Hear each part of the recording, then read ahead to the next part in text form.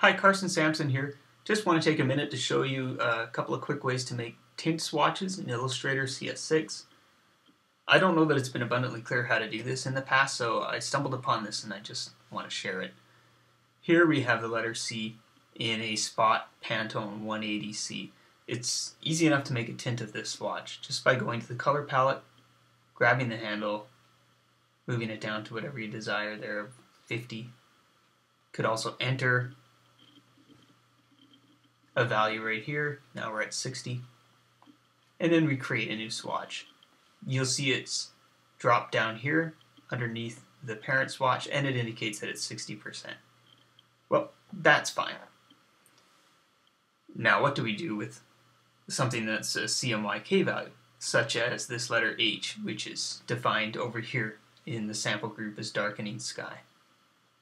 One trick might be to go over to the opacity. In the transparency palette, we can grab the opacity and drop it to 50%. But when you move that element and you place it over top of other elements, you'll soon discover that it's really not a tint, but rather it's something that affects the overall composition and the colors of the uh, the other elements within that composition. So that's not going to work for us. We'll bump that transparency back to 100%. How then can I create a true tint of that CMYK value? It's pretty easy actually. I have my letter H darkening sky, letter H selected here. I move over to the color palette and I can select any one of the four sliders.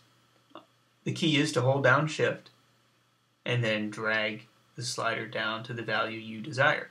In this case, I think we need to come in around 38 for it to be a 50% value. 38. I'm going to create a new swatch and label it appropriately, appropriately